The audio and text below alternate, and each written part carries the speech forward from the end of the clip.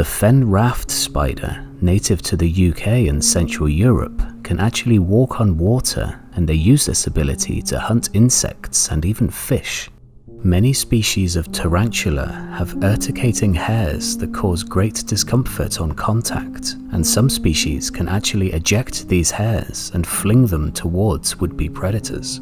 Over 300 different species of spider mimic ants, both in appearance and behavior. Some do this to evade predators, while others mimic so they can prey on other ants. The smallest spider in the world is from the Patu digua species, with a body size of just 0.37 millimeters,